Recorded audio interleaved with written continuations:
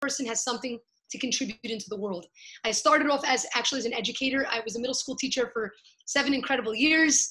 And then back in 2011, I took apparently was going to be one year off to see what would happen if I put my all into this passion since I was a kid to really bring people together through the power of kindness. And that one year off led to uh, now nine years and growing.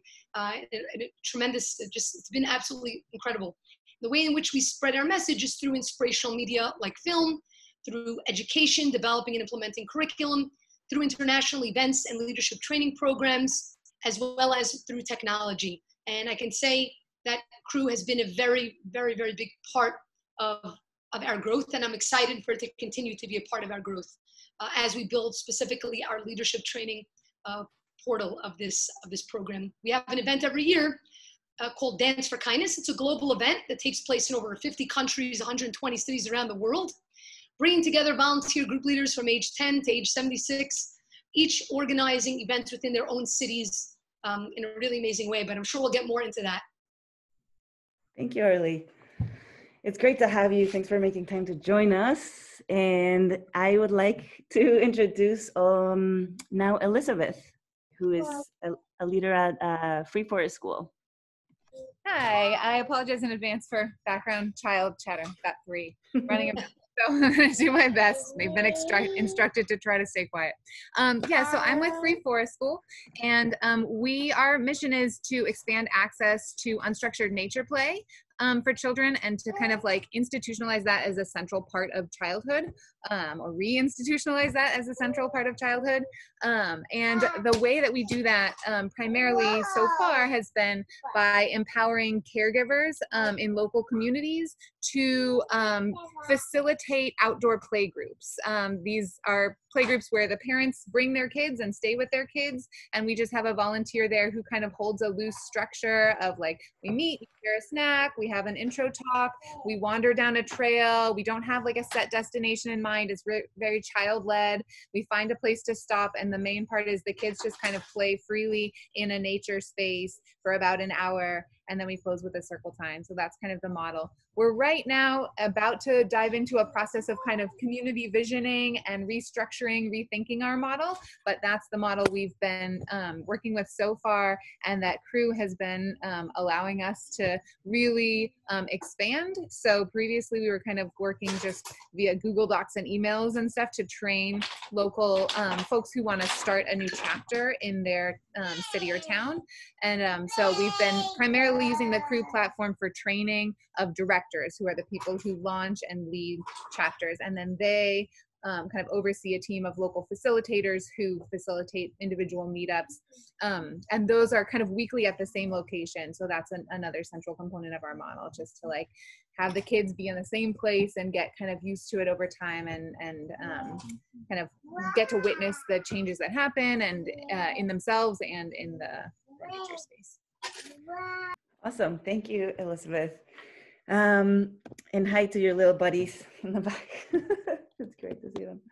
Um, so my next question, I it's just a question that I'm uh, personally always curious about is how do grassroots movements grow? It's it's um, um, yeah something we all want to see for our communities to expand our reach and our impact and and share our tools and and resources with others. So I am wondering if you'd be uh, if you'd like to share how your organization grows. How do you recruit? Do you how you how's your growth come to be? And and maybe even because both of you are actually some of the largest uh, grassroots movements that Crew serves.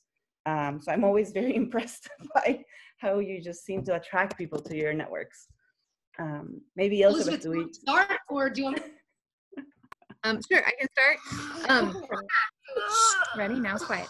Um, so uh, we kind of um, primarily have been spreading through word of mouth. You know, we started just with one chapter um, that was our founder kind of just wanted to start a play group for you know kids to connect with other families, and you know started a Facebook group. Um, and overnight, a thousand people joined. So she kind of said, "Okay, I'll start a thing and start getting other people to help with it." And and then she moved to Austin, and kind of the same thing happened. And then she moved to Minneapolis, and the same thing happened. So there were already kind of these three different places that she was kind of keeping in touch with and supporting local leaders. And then just as those people then kind of spread the word about it to other folks in their networks, they said, we want to do this too. And so she kind of got roped into, you know, starting to support um, more and more chapters. And eventually, um, Irene Dueling um, joined in as um, kind of, she was one of the Austin initial folks in Austin. And she joined in to kind of help support and, and formalize some of that and kind of really took over the one on one interactions with the individual chapter directors. Um, Facebook has been kind of a big source for us of community building. We each each chapter has its own Facebook group, so that's a way a lot of people find us um, and find out you can share with their, uh, their friends. So that's and then that's been another key piece. It's just like people saying, "Oh, I do this thing and it's awesome," and talking to their friends in other cities who are like, "Oh, I want one," and so then they can come Yeah. to our website to start. Um, and um, just um, Google kind of search engine uh, stuff is another big way that people have found us. Just people looking for that that sort of thing. And Yeah. Yeah, I feel like Free Forest School is just like an idea that every parent who, I mean, as a parent, I, I had heard about it before we met with y'all. So it's, you guys are definitely a, a well-known movement in the young kid parents community. Elizabeth, I gotta Thank say, you. happiest baby ever. I, I'm like, love, loving it, loving it. calls. so just a bit about how how sort of got started with with Life Vest Inside the truth is with any grassroots movement the key to getting it out there is just to start and not to be so nitpicky about things being perfect. And that's coming from a very big perfectionist. I uh, and i have to tell you sometimes when you let go of being so super perfect and you're just and you and you forget about the how and you focus on the why you're doing something that's really when the magic is able to come into play. And it's it's very important for us to, to you know to remember that. Just to give you an example when i started this organization so like i told you i was a middle school teacher okay i happen to have had a background in film production and during my summer off from teaching right before i left right before i started the entity i decided to shoot a film i wanted to be able to show people this contagious power that kindness has to impact change and I used a means that, that, I knew. I knew how to communicate via film, but it had been so many years, like seven years since I'd done film. I was super nervous. And I created this thing. And the truth is, nobody saw the film for one year because I went straight into teaching, and it was the following year that I took off. Long story short, I put the film up online, and I didn't have a website. I had nothing, okay? I was a middle school teacher, went from college to, that was it.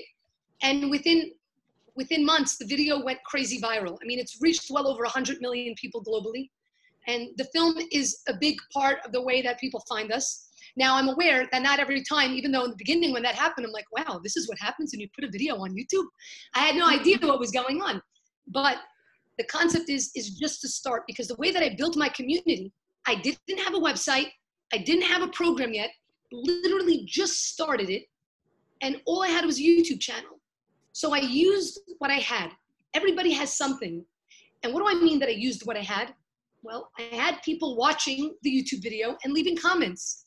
And so all I did for maybe 20 out of the 24 hours every day was answer comments, literally that were that many. That there were thousands that were coming in a day. That was all I was doing, responding to comments. And I didn't know it as I was doing it because it was just natural to me. I like connecting with people. Mm-hmm. That I was actually building a network. Who knew I was building a network? I had no clue. And relationships started to be built. And then someone's like, well, why don't you start a Facebook page? I'm like, okay. And then I started creating content for that. Uh, the, the name of the video is called Kindness Boomerang for those of you that want to check it out. It's one people message. And so from there, things grew. And now I had this Facebook page that I was creating content for. And how did the biggest program come about? It came about because now all those people that were already connecting with me, we were friends.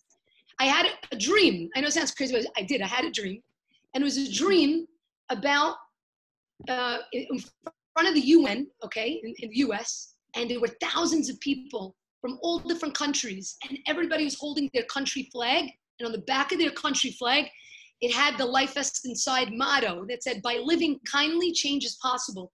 And people were singing and dancing. And I wake up from this dream, I'm like, Oh my gosh, I have to do this because dance is such a great way. When people are dancing, they're not upset. They're not wanting to, to hurt somebody. They're feeling awesome, right? They're releasing endorphins. They're loving everything.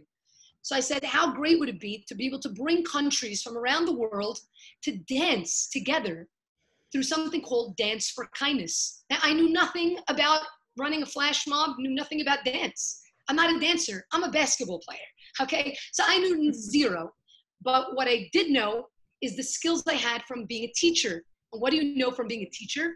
You know process, how to learn something and then be able to give it over to somebody else that doesn't have a clue about how to do it and still be able to teach it. And so that's exactly what I did. I did a local event just in New York, a flash mob. And as I did it, I learned how to do a flash mob. All these small things. And I put down a handbook. My handbook initially was five pages on a Google Doc. Okay. Now it's like broken into like six, like 75 pages. Okay. Uh, and I made a video and I put it up on, uh, I put it up on Facebook and I said, hey guys, here's what I want to do. I want to do a global event for World Kindness Day and get group leaders from around the world that are going to run this event. And on the same day, we're going to take the same song and the same dance, and we're all going to do it together. Who's in? And 30 people reached out from 15 countries. And I started giving started it with just this, you know, handbook that I wrote, and I met with each one of them. And again, little did I know what I was doing was building community by having these one-on-one meetings. Until it grew to then you know 25 countries 30 countries 50 countries. And it came to the point where my my capacity wasn't reaching the amount of people that were interested. There were 500 group leaders interested in joining us but i'm one person and i commit to meeting with every group leader individually like how am i going to do this? And all of the process you know back and forth of the email send them this email then the next email. Crazy. And then i was very lucky to find crew. And what they helped me to do essentially was to streamline all of these processes so that I could focus more on actually building the community even further where they can come on and they can get this you know the easy steps and gain points and gain badges and so on and so forth. I'm sure we're going to get more into that but how do you start you start by not being afraid and by recognizing that nothing is ever perfect i didn't have a website the first year I ran Dance for Kindness. And we had 3,500 people join us from around the world. But the minute that you empower people and you bring them as part of your team, and they feel that sense of authenticity that you you feel for them the same that you feel for yourself. You create something special, and that's something that people want to get behind. And mm-hmm. from there, it grows and it grows and it grows. But it's just about starting and knowing it's not going to be perfect. If I waited for it to be perfect, I may still not have started Life Vest Inside. So yeah. Early, Orly, I'm so pumped. I love listening to you speak. Thanks for sharing your story and and um, I, I, I have to say that the um, program managers that I that I've found are amongst the easiest and uh, easiest to work with and like faster to launch a community are oftentimes teachers. I think there's just something about the training that education school gives folks that it um yeah it, it's very very similar to what it takes to orient someone into starting a chapter starting a group a team and leading um a local community so it's uh yeah it's no surprise that you're a teacher um so i think since you were kind of already going in that direction you were starting yeah. to talk about uh, the way the process that you've built from the beginning to train and orient these local leaders who then would lead small groups or actually smaller huge groups to to engage in this um,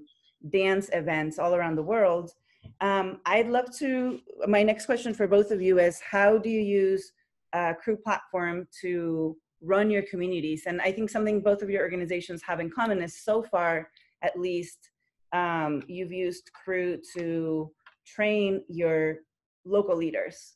Um, so Orly, is it okay if we if yeah, we continue no, with course. you and maybe part of expanding yeah. to be able to grow, you need to realize, and we all know this, right? No one person can do everything.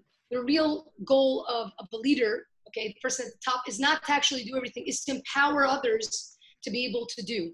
Uh, and th- that's why training is a very, very important part of it. the way that this initially was, I, I had set it up in a way that because at the end of the day I was getting onto a phone call with each and every group leader, I needed to ensure myself that the rate of drop off was so small that I wasn't wasting time on somebody that may drop off to begin with.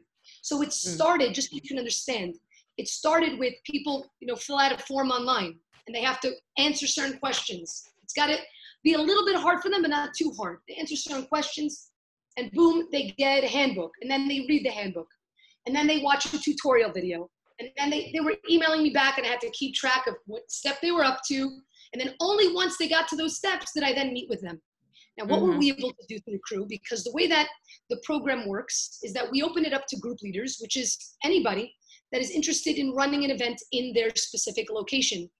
And they have a few months to go through the training. And then after the training, we open up the event that people can register for the locations around the world, for these dance locations. And, you know, the, the group leaders in charge of various tasks, you know, that they need to be able to put in place. So what did we do? The first step is that when a group leader registered, and again, there's that registration process, they automatically received an email from us. And in that email that they received, even there, I created a short form tutorial video where I got them excited and I actually shared my screen to show them how to use the platform. Because there's only two reasons why people don't do things in this world. And I learned this from a mentor of mine. Number one is fear. Number two is a lack of perceived value.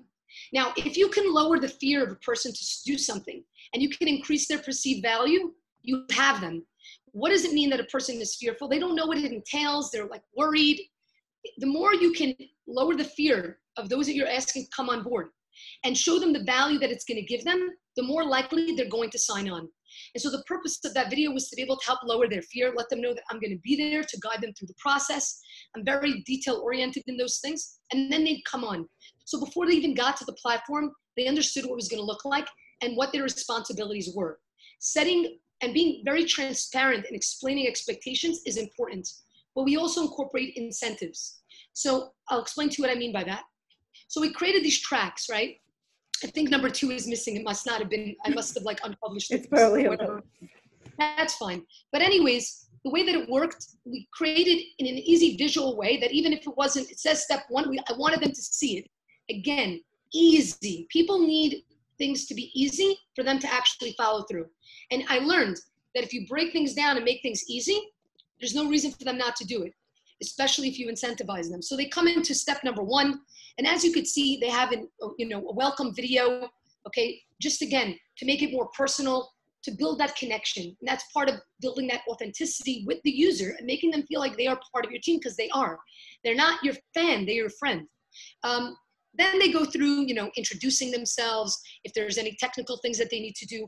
But what we did is at, at the end of each of these, you'll see that there's a prompt over here, right? So there's something that they're asked to do. They watch a video and then um, we're, we give them a prompt, like it says here, what's the name of the organization that created Dance for Kindness?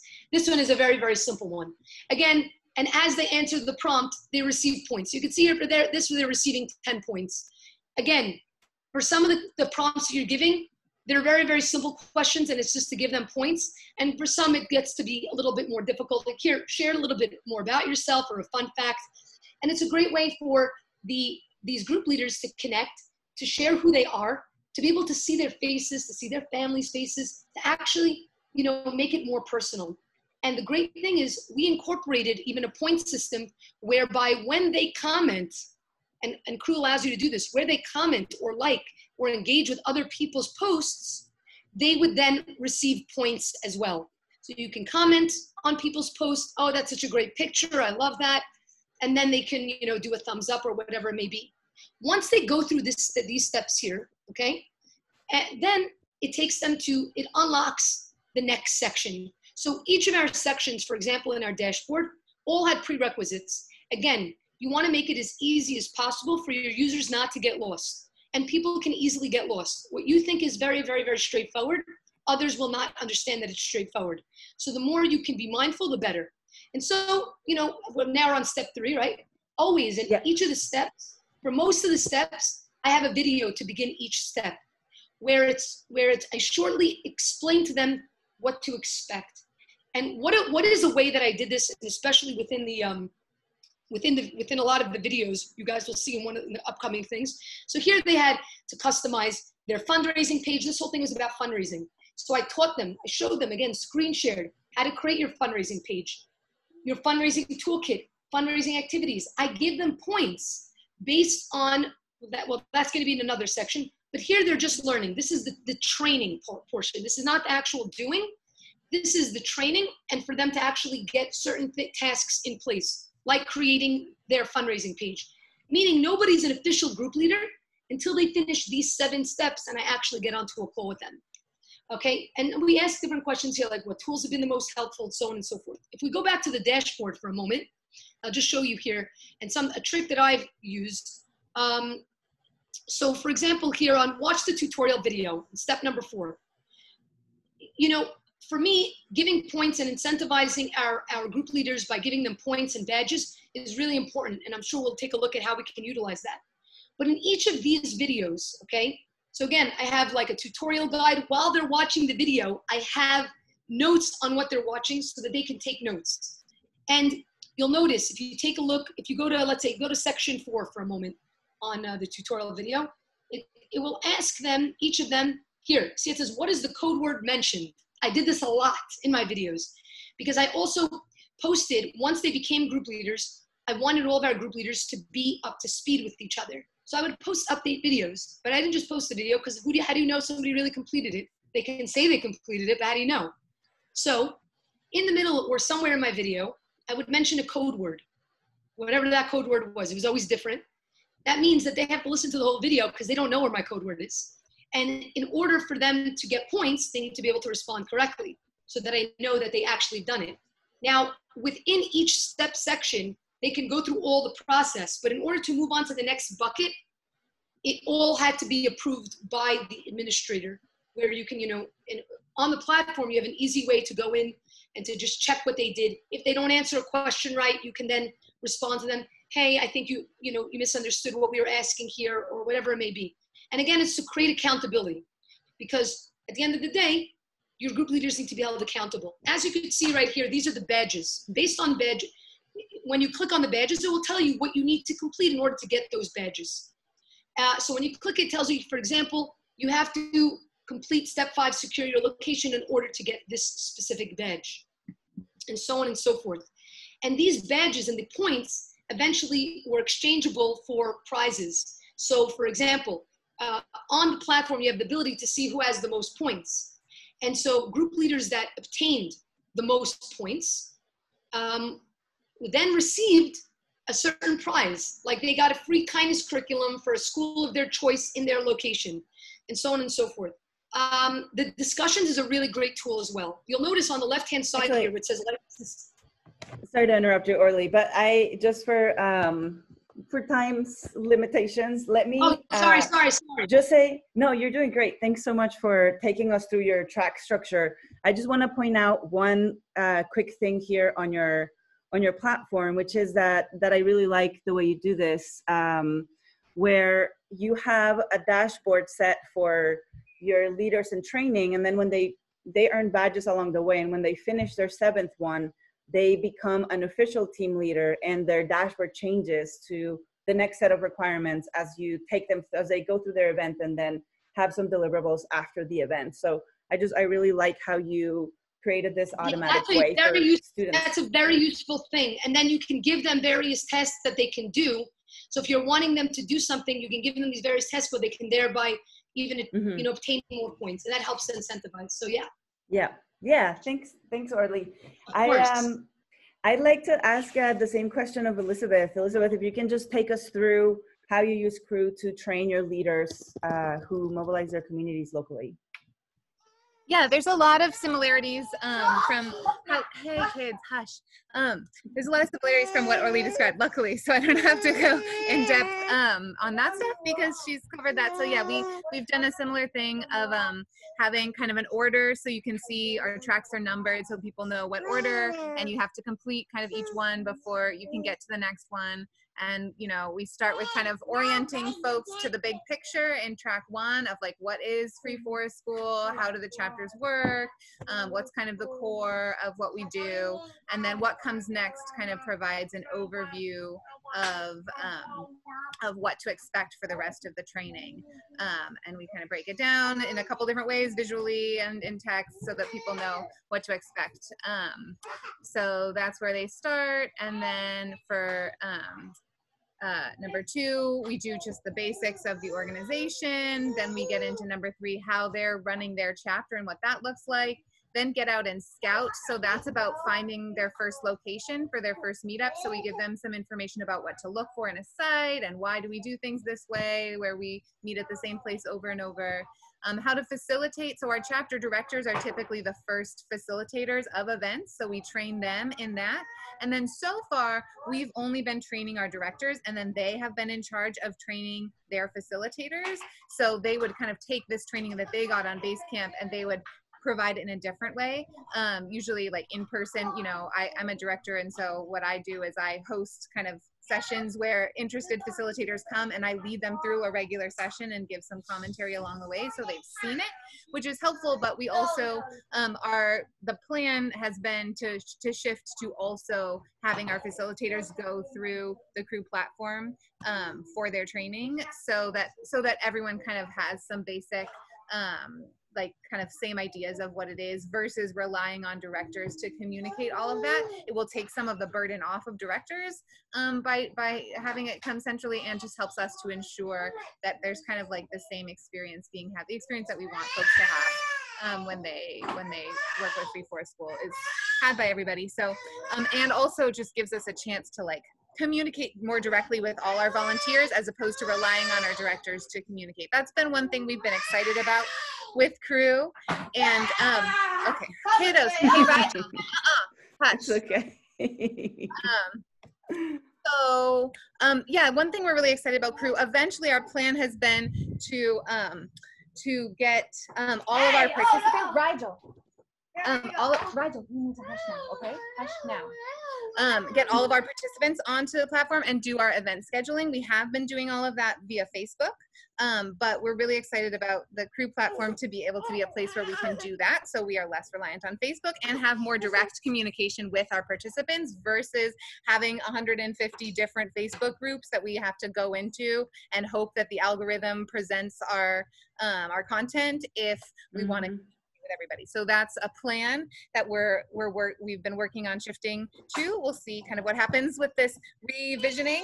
Um, um, so yeah, that's so that's kind of that um, track five, and yeah, and then so once they've been kind of oriented to those information, Capella, you need to give it to her right now. Capella. Okay. Oh. Give it. Um, nope. Okay, so um, so yeah, then we get into kind of the logistics of actually the things that they need to do in order to um, to actually launch their chapter. So once they've kind of understood and received some training, then we have actual logistical things that they need to do. So we have them submit some content that we're going to use for their chapters web like page on our website. Um, we orient them to how we use Facebook and have them kind of request their group to be created, and then we create it. So there's some back and forth here, and that's where we've used what Orly talked about that you can um, choose which um, things require approval from admins to say, okay, yes, you've completed this, versus which things you can um, you can just like have them say that they've completed.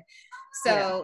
that's been helpful to us. We've we've really limited it down because we have very limited kind of um, staff working um, on this. So to say what are the things we really need eyes on to make sure okay they get it or this is an important thing versus what things we can just like we want them to have seen and we're just going to trust that they've seen it as they go through. So mm-hmm. kind of um, decided about that. Um, yeah and then once they've kind of worked through this process um, of these 10 tracks then they're pretty much then by the end of it they've kind of launched and they've been giving given permissions um, kind of access to our national forums and given their like admin status on their facebook group and their content's been adding to our webpage so all those mm-hmm. things are kind happen yeah. through this the goal was has been to like also then have ongoing content that direct that directors can access after they've launched that can support them. Um, and we haven't uh, fully kind of developed that. So but we would use the same kind of system um, that orly has of of um, kind of you know they earn badges as they go and once they've earned all the badges then they get their new role and they'll have a new dashboard with the new content. Yeah thanks elizabeth. And i just want to say the obvious right? Like i have two kids and right now they're at a neighbor's house uh, thank goodness but it just always happens. And when you most need them to stay away from the computer they go crazier. they somehow know. Um, and the veil is down now. I think this is now all of our realities. So um, thanks for sharing, Elizabeth. And I think uh, my next question that I, I just like to, and it's actually the last question, and then we'll go to the community for, for questions and answers, is um, in, yeah, in a, in a couple of minutes, what would you say your top two or three lessons are when you're working to mobilize communities online who are doing real work offline, right? They're, they're creating, they're working on projects, they're doing dance-a-thons, they're leading groups of parents, etc. Um, what have you learned over the years that you'd like to share with our community today? Maybe Orly, we can start with you. So I think, okay, first of all, it's really important to create a community. That meaning they themselves feel very connected. So one of the things that um, you know that I've done, and again, I've also utilized, you know, similar to what Elizabeth was saying, I've also utilized Facebook in this way. And this past year, I was trying to move people over onto the discussion on the platform, which is sometimes a little bit more difficult for them. But every time I meet with a group leader, right, and I have that initial conversation, I take a, you know, a screenshot and I upload it onto our Life Vest Inside channels and I introduce them with a little bit about who they are. And all the other group leaders, both on the private group leaders and within the public, um, everybody, you know, welcomes them aboard. When people feel the sense of connection when and, and they're supporting each other to me that's a, a huge way in order to create community these people live in different countries speak different languages. I have people that really don't speak english so well okay? I mean they're from all over. Yet they connect with each other and they love each other. We had actually a marriage that came from group leaders that we brought together which is really really exciting for me. So it's just about um, creating community whether it's posing a question, whether you have like a question of the week, and when you incentivize and you highlight, let's say, a member of the week or member of the month for something that they're doing, that really helps tremendously. Um, having people share about where they're coming from, because if they're a if they're a global community or people from wherever, sharing those experiences, that's what builds. I mean, that's what builds a relationship, you know. Um, and we've had to now think of you know, I've had a meeting with uh, group leaders from around the world, how we can incorporate our event because we can't do Dance for Kindness this year physically because of Corona. So how do we bring meaning, infuse meaning into this event, into the event, even though we can't physically be together?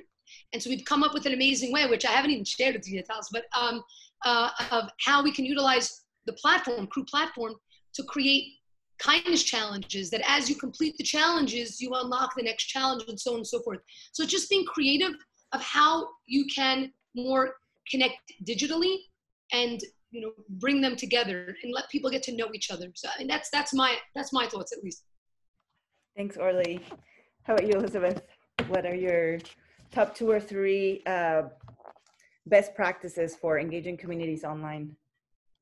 Yeah. Um, I mean, for us, something that's been really beneficial kind of has been the photos, like encouraging people to share photos of their um, participation in the events, um, because that for us has been like a, a, way to get people who are interested and who join the Facebook group, but who like like Orly was talking about the fear, right? Like not the fear of the unknown and not knowing what to expect, and by being able to see photos of other people doing it, um, has helped and we also encourage people to share kind of like after after each event we encourage um, what we do is we we kind of ask for one person to volunteer to be the photographer so that we don't have uh, everyone with their phones out right? We like to kind of keep phones away but we have one person kind of as the designated photographer and that's just a volunteer um, at the you know we just ask for a volunteer at the beginning of the event and then we ask them to just post that to the facebook group that's for each um, chapter so that they can see um, see what happened. And we ask them to give like a little just like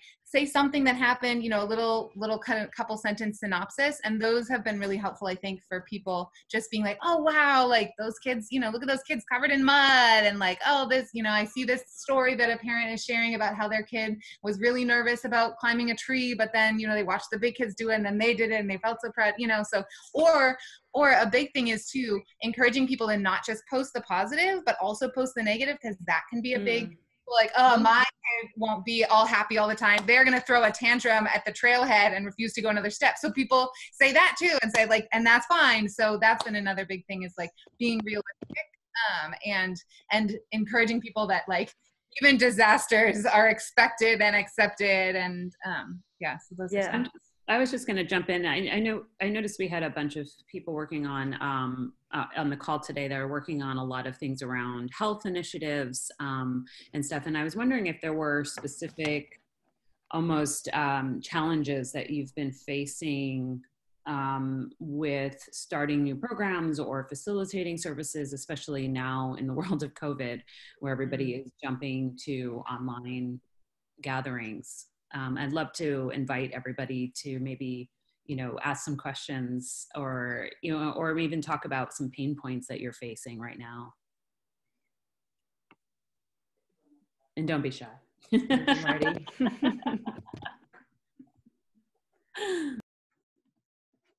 Hi, this is Utricia with Buckner. I think I got on late, so I wasn't able to indu- and introduce myself. So this is Utricia with Buckner. I run our youth program. Hello, ladies. Have Hi, bad hi. hair day, so y'all see my picture. Hi. One of my questions, um, working with Buckner, we have a, a community uh, coordinator. She is doing an excellent job with me getting the community involved in my after school virtual program. So one of the goals uh, is I think is kind of challenging is to how do I really tap into that community to really make a impact when it comes to the students' education. And I'm looking for um, tutor, uh, I'm looking for certified teachers to be able to hop on um, and kind of meet some of those parents' need, but I don't want to program without the impact, if that makes sense. I really want to be able to meet each parent and child's need. And I just know where do I start and how? Because we did a summer program, but it was challenging. Everybody said it was excellent, but it was new. So I'm still trying to see what, how can I stand out for the uh, virtual after school program? What could I do different? Mm, wow, that's a great question. And and you need it to be virtual right at this point, I suppose. Yes, we are Um, doing virtual. Yes, ma'am. How are you working Yeah. on? How are you working on recruiting people? Uh, we're doing email blasts, we're doing phone calls, we're doing flyers. Uh, that's what we're doing at this present time. We're doing flyers, email blasts, uh, Remind app. Thank you, Jay. Remind app. Um, any type of Question: Are you guys doing? Um, how visible are you? Are, are you know you guys doing videos where you're really speaking out to people, like actually recording yourselves speaking about the program and why people should join it? Because there are loads of people that get emails, right? Think about how many emails come through and inboxes get completely uh, full. People generally, I would say, again, this is just my experience. People don't connect with organizations; they connect with people. So yes, wow. by being I think able to show yourself and tell your tell the story but and, and really and it doesn't have to be professionally filmed or whatever like just by actually being able to to whatever create a video whether it's on Yeah. however basis you want it to be it really does it gets people to know who you are who the community is and and, and it gets them to want to ask questions Mm, that to me is a, is a really good way to do i think yeah. Wow. think I like that. probably, That's excellent. um, Thank you.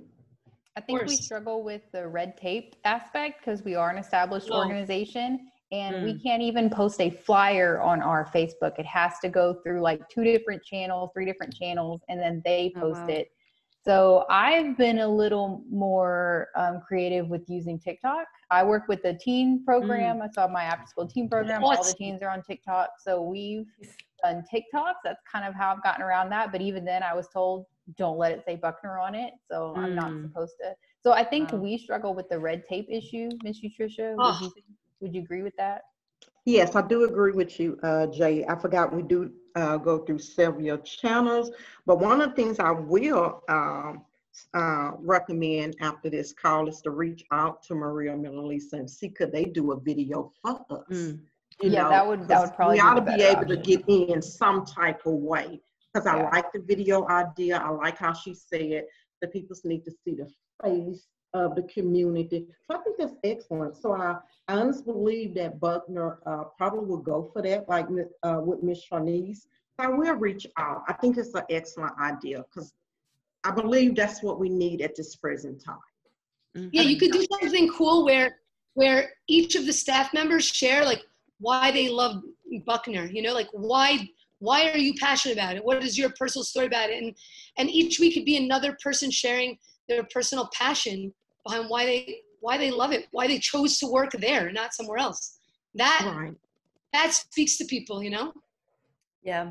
I, I I would also jump in and just say I think one of the things that was game changing for our organization, um, and and was having that home place that they can connect with us as a um, like where where people can feel like they can log into our world, right? As opposed to just everything being facilitated across a, a website. That's exciting. That's great. We have our messaging. We've got our pieces.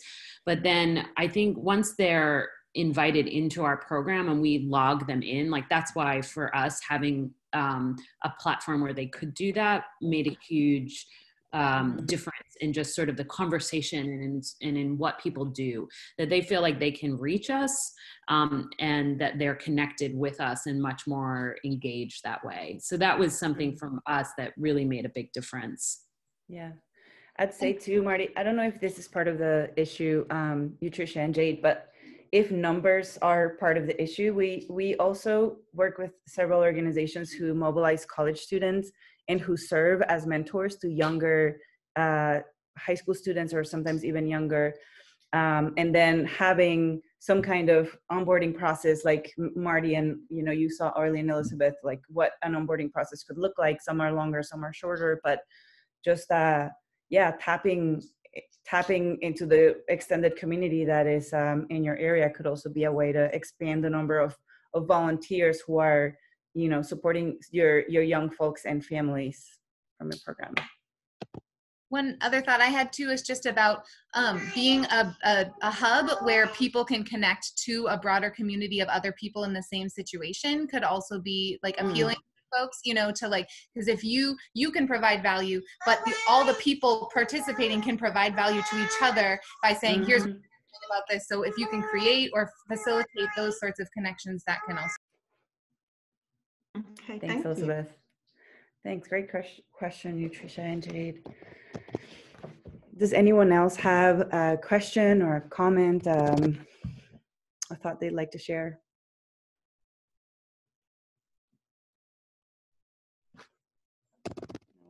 it's all good.